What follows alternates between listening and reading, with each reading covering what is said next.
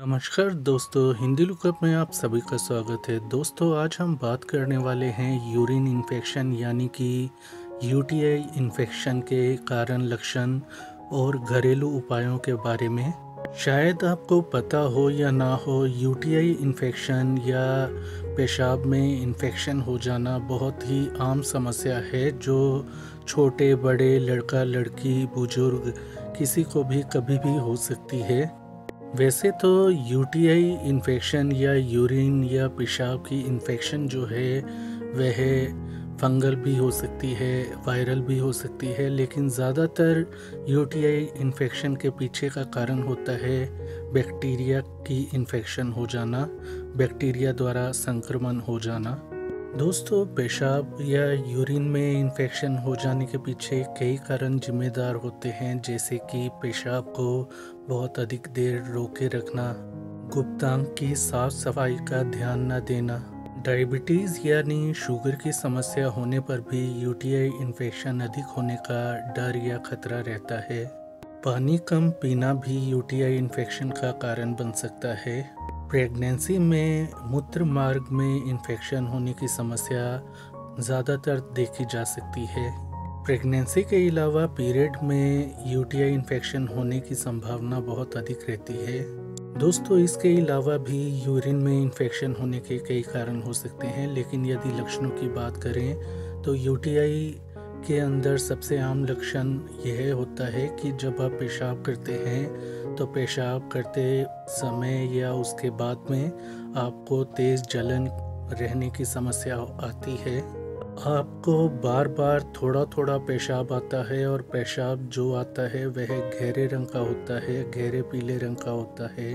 पेशाब के अंदर तेज गंध रहती है, पेशाब में बदबू अधिक रहती है। पेशाब करने के बाद भी आपको बार बार पेशाब होने का एहसास होते रहना यह भी यूटीआई इन्फेक्शन का एक मुख्य लक्षण होता है। इसके अलावा जननांग के ऊपर, यानी पेट के निचले हिस्से में आपको दर्द या भारीपन या प्रेशर जैसा महसूस होता रहता है। दोस्तों, पेशाब, यूरिन की इन्फेक्शन, यानी यूटीआई इन्फेक्शन के अंदर आपको डॉक्टर एंटीबायोटिक दवा देता है, यदि आपकी समस्या बड़ी हो तो वैसे यूटीआई इन्फेक्शन अपने आप भी बिना दवा के ठीक हो सकती है। लेकिन जो हमने आपको यूटीआई इन्फेक्शन के लक्षण बताए, वैसे लक्षण यदि आपको महसूस हों तो आप घरेलू उपाय भी कर सकते हैं, जैसे कि जितनी अधिक मात्रा में पानी पी सकें, आप पिए, ऐसा करने से आपका जो मूत्र मार्ग है, वह साफ़ होगा। और ज़्यादा पानी पीने से पेशाब ज़्यादा बनेगा, जिससे कि बैक्टीरिया आपके मूत्र मार्ग से ज़्यादा से ज़्यादा संख्या में बाहर निकल जाएँगे। यदि आपको यूरिन में इन्फेक्शन होने की समस्या बार बार होती है तो आपको भरपूर मात्रा में पानी का सेवन करते रहना चाहिए।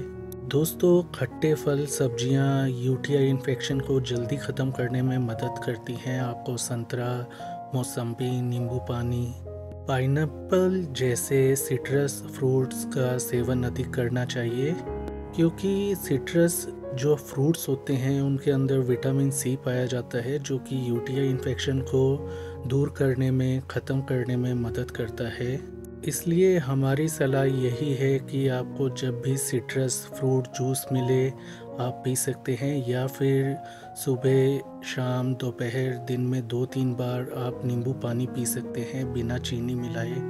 सिट्रस फ्रूट्स के अंदर kiwi fruit grapefruit orange यानी संतरे भी आते हैं, आप उनका भी सेवन करें। जब भी आपको मौका मिले, इनका सेवन आप करें। ऐसा करने से आपको यूटीआई इन्फेक्शन यदि है तो वह दूर हो जाएगी और भविष्य के अंदर आपको यह इन्फेक्शन होने का खतरा ना के बराबर रह जाएगा। दोस्तों, साइंस भी ऐसा मानती है कि यदि आपको यूटीआई इन्फेक्शन है और आप क्रैनबेरी जूस का सेवन यदि करते हैं तो यूटीआई इन्फेक्शन से आपको छुटकारा मिल सकता है। इसलिए क्रैनबेरी जूस आप सुपरमार्केट से ख़रीद कर उसका इस्तेमाल कर सकते हैं।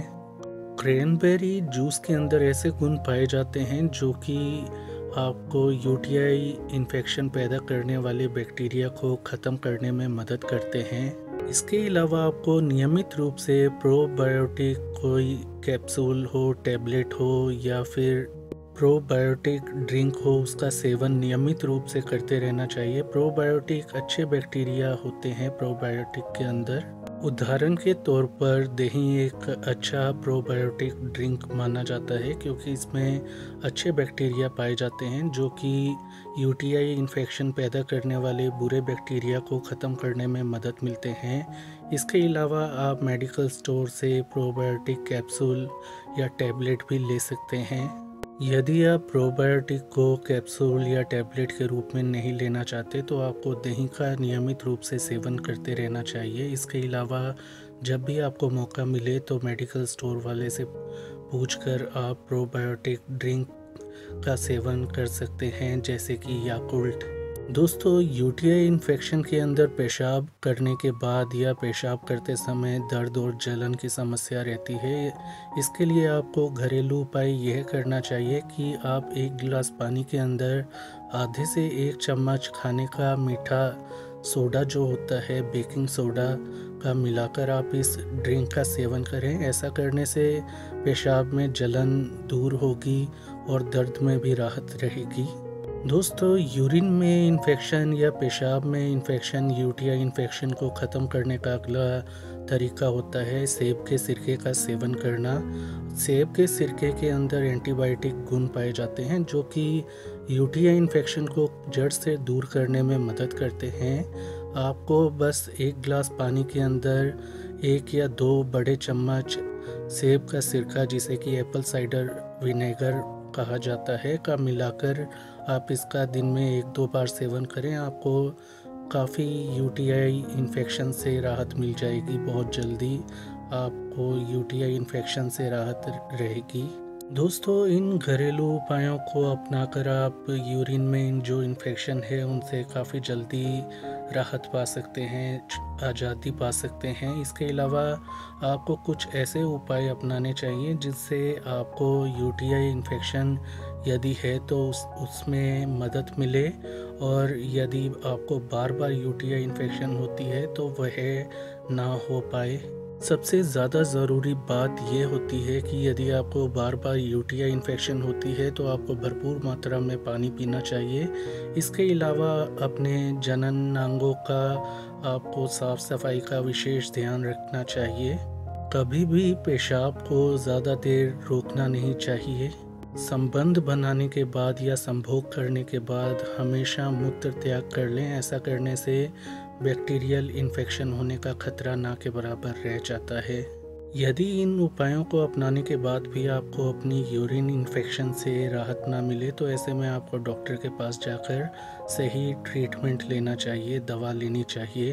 तो दोस्तों, ये थी जानकारी कि यूरिन में इन्फेक्शन होने के कारण क्या होते हैं, लक्षण क्या होते हैं और आपको कौन से घरेलू उपाय आराम दे सकते हैं के बारे में जानकारी? तो आज के लिए इतना ही। इस वीडियो को लाइक करें, शेयर करें, चैनल को सब्सक्राइब करें, अपना ख्याल रखें। धन्यवाद।